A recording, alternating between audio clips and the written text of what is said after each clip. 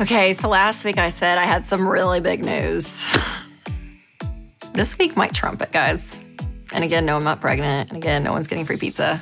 But, oh man, gosh, what is bigger, this news or switching formats of the Rachel Cruze show? I, oh, man, this this might be bigger. This might be bigger because for the last dang year and four months of my life, I have been working on something, and finally, the world gets to see it.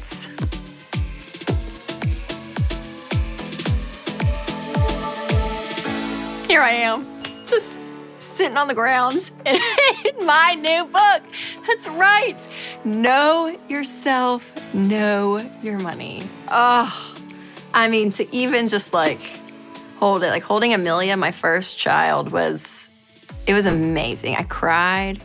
Caroline was just like joy. Charles was just like, oh gosh, this just has a different, a different take in my heart. It really does. I mean, it's like fourth in line to those three, obviously, but this it really it freaking feels like I've been pregnant and I birthed another kid. but this book, I'm just I really I am so excited. Okay, a few years ago, I had this like thought, this moment where I was like, hmm, if I can start understanding not just how to handle money and helping people handle money, just like here's how you do it, but why do we handle money the way we do? Why? Why do we spend the money we spend? Why do we save it? Why do we go into debt for it? What what what what what is it? What is the why behind so many of our money habits? And on this show, we talk all the time about the how. We talk about the budgeting and the investing and the getting out of debt and the saving and the insurance and the investments and the wills and like all the things of the how to win with money. But when you can start to understand and go under that foundation of why do you handle money the way you do, it like it's amazing. It really is.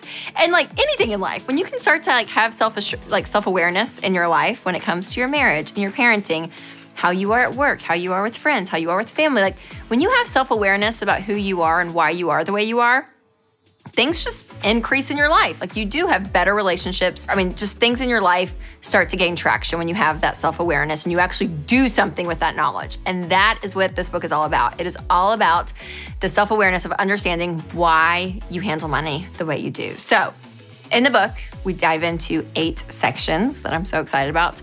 The first section is all about your money classroom. How did you grow up with money? Because it really affects it. And to say that there's a little quadrant chart in there, that is pretty exciting. That's an understatement.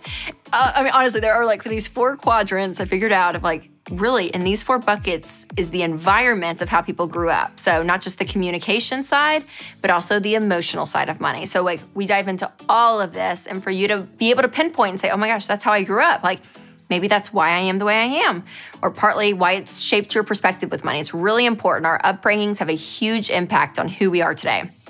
Then we dive in to your money tendencies, which we all have. There's lots of tendencies out there. We talk about spender and saver and nerd and free spirit on the show a lot, but we go into many, many more when it comes to money and your natural tendencies and how you're bent, how you're wired. And then that can kind of start to open your eyes maybe to other people in your life. We're like, oh, wow, that's why they buy that thing, or that's why they would rather do this with money than that. So, diving into your tendencies, also diving into your money fears. We talk a lot about this on the show because fear is a main driver of why we do things in life. It can be that motivation. And so, really digging into the top financial fears that people have, and hopefully, you being able to pinpoint, ah, that's one of my top fears. Maybe this is why I do the things I do with money. We're also going to talk about your money mistakes and giving grace because we all need that. If you are breathing, that means that you have made a mistake with money. So we all have. And so, really, really understanding okay, man, do I give myself enough grace? Do I give others grace when it comes to money mistakes? So, diving into that. And then the book moves on to not just why do you handle money the way you do, but what to do about it. That's right. The subtitle here, Know Yourself, Know Your Money, my new book. Mm-hmm. Subtitles discover why you handle money the way you do and what to do about it. So, the last part of the book is what to do about it. So, what to do about your spending, your saving, your giving, and changing your behavior and really saying, okay, this is it. And hopefully, this book, my prayer is that this book answers so many questions for you of like, hey, this is why I handle money the way I do.